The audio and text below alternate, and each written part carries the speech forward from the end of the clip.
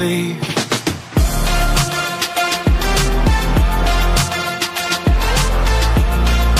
No, that means I'll have to leave.